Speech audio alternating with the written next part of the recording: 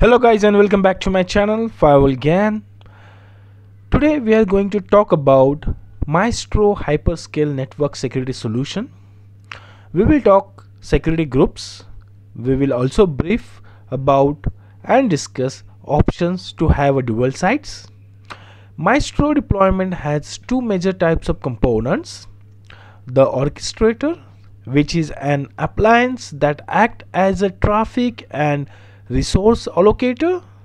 It sends packet to specific security gateway module and overall spreads out your traffic load amongst all of the security gateway modules assigned to handle that traffic.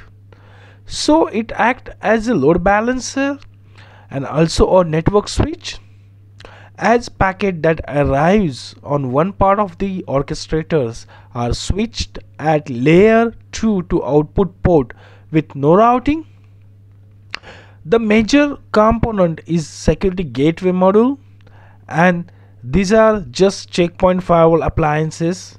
They have to be compatible with the maestro products. Basically they must meet certain hardware requirement to be honest, most of all current Check Point appliances are compatible with the Maestro hyperscale solutions.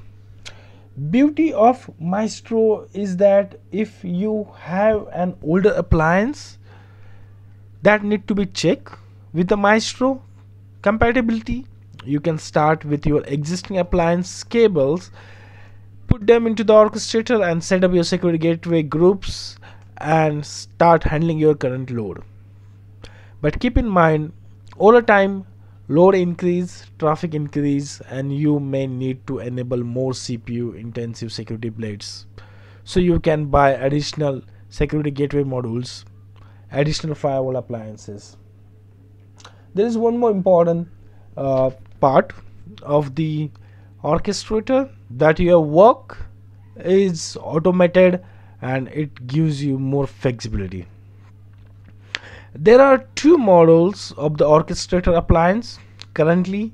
We have the MHO 140 which has 48 small form factor plugins all ports which each can do about 10 gigabits per second traffic handling and then 8 core small form factor ports which each can do about 100 gigabits per second traffic load handling. And in the core ports you can insert a four-way splitter which gives you four small form factor ports so you can increase the number of ports of the module. This is another module which is 170 which has 32 core small form factor ports. And again you can insert four-way splitter and get four ports that gives you roughly the same number of port as the 140 right? You can use splitter in 170 as well as I said. Now this is a 140 uh, appliance you can say you can see on a screen. It's similar like it looks similar and have the functionality ports and everything look like look wise similar. So we'll be talking about the 140 here. So this orchestrator appliance comes shipped to you with the port allocated for different purposes by default. You can change the purpose of the port by default on the 140 right? Or 170 the first four ports are designated for management traffic which is your security management server sending policy updates or whatever the updates you have made to the security groups or you can use your web user interface or a CLI to change GUI configuration for the security groups etc whatever the changes you have made using these ports those goes to the security groups and then your gateway. There are uplink traffic ports and these accept the traffic from your various networks so you have internal networks you have DMZ wireless data center an external network those networks are routing traffic and they get routed through the orchestrator which switches the incoming packet from uplink port to the appropriate downlink port that your security gateway module are plugged into.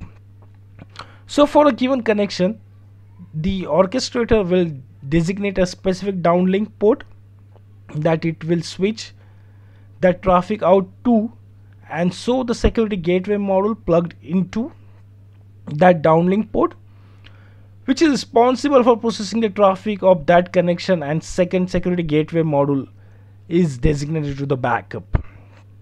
So if the active security gateway module for the connection fails the backup will active and the state synchronization has been done between the active and the backup. So it ensures that the state tables connections are up to date all the times. You can have two orchestrator in your deployment and you can do so. You need to do a plugin. I mean performing that you need to plug a synchronization cable between them. So the maestro solution uses the notion of a security group. A security group is a collection of assigned security gateway module and interfaces. When traffic arrives on an uplink port that has been assigned to the security group the security group will receive the traffic. The security group can given a name which you will going to use for the security gateway object in a smart console you also provide an IP address and the network configuration that the security group.